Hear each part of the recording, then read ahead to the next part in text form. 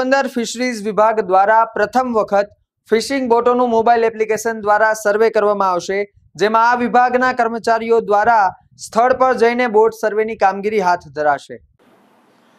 પોરબંદરમાં અત્યાર સુધીમાં ફિશિંગ બોટના રજીસ્ટ્રેશન થયેલા છે, જે બોટોનો સર્વે કરવાનો ફિશરીઝ વિભાગ દ્વારા નિર્ણય કરવામાં આવ્યો છે.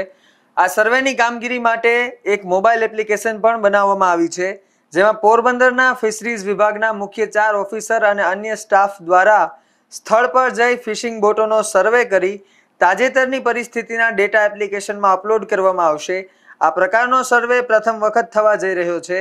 ઉલ્લેખનીય છે કે હાલ પોરબંદરમાં એક હજાર ચારસો ને પંચ્યાસી જેટલા પિલાણા, બે હજાર એકસો ચુમ્મોતેર જેટલા ફિશિંગ બોટ અને અગિયાર ડીપસી ફિશિંગ બોટ રજીસ્ટ્રેશન થયેલી છે. નિપુલ પોપટ, ગુજરાત ન્યૂઝ, પોરબંદર.